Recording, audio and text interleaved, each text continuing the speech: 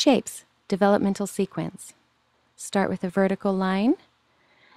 You're going to tilt the paper to the left for right-handed children. We're going to start with the pre-strokes. The first stroke is a vertical line. You start at the top, big line down. The second stroke in developmental sequence is a horizontal line. Start at the left and go across to the right. Now we'll do a circle. Start at the top, big curve to the bottom, big curve back to the top. Next, we will do a plus sign. Start at the top middle, big line down, middle left, big line across. Next, it'll be a square.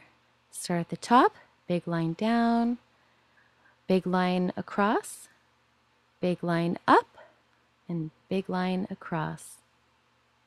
Now it'll be a triangle. Start at the top. Big diagonal line slides down to the corner. Big line across. Big diagonal slides back to the top. That's a triangle. There it is, the developmental sequence.